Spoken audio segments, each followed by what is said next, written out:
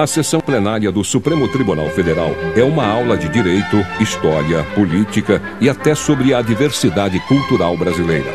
Uma oportunidade que o cidadão tem para conhecer os caminhos percorridos pelos ministros em busca de justiça, respeito e democracia. É um espaço de debate onde todas as vozes têm vez. Quer um exemplo?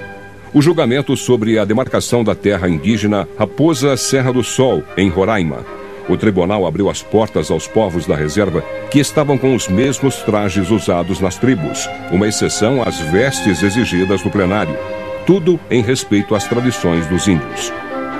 As sessões plenárias são realizadas às quartas e quintas-feiras à tarde.